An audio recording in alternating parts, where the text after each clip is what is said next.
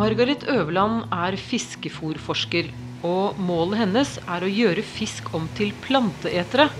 For det finnes ikke nok fisk i havet til å fôre all oppdrettsfisken. Fiskemel er jo blitt tradisjonelt brukt i fôr til fisk, men det er en begrenset ressurs.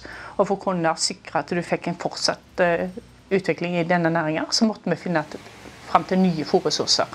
Og det var jo plantene først og fremst som var det viktigste alternativet. For de er tilgjengelige i store kvanter, de er billige.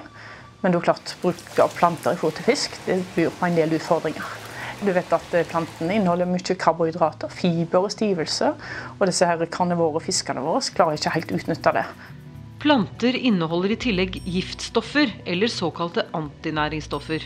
Det er jo deres eget forsvar mot å bli spist av insekter, beitende dyr og den slags. Og du vet at De har gjerne bitter smak, sånn at det fører til at fiskene gjerne ikke liker fôret. Utfordringen er altså å finne plantefôr som fisken tåler og liker, og som inneholder sunn og riktig næring. Du ser, på sikt så bør vi ikke fôre menneskemat til fisk, vi må tenke alternativer. Alternativene er jo bakterier, gjær og mikroalger. Å tilsette bakterier, gjær eller alger kan altså gjøre plantefôret spiselig for fisken, men det må tilberedes først. Man kan f.eks. dyrke gjær på trær. Grantre til dømes er jo et veldig interessant utgangspunkt. Og Der tar du utgangspunkt i en uh, tømmerstokk, kutter den til flis. Og så blir denne omdannet ved hjelp av enzymer til fermenterbare sukker. Og det er de sukkerene som disse gjærtypene vokser på. Forskningen er verdensledende på sitt felt og blir fulgt med argusøyne av akvakulturforskere over hele verden.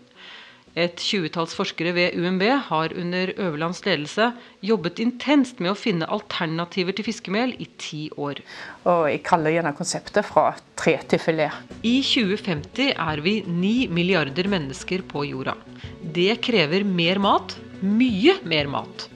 Øverlands forskning kan få oppdrettsfisk til å bli 100% vegetarianer, og dermed kan oppdrettsnæringen spille en nøkkelrolle i å fø alle.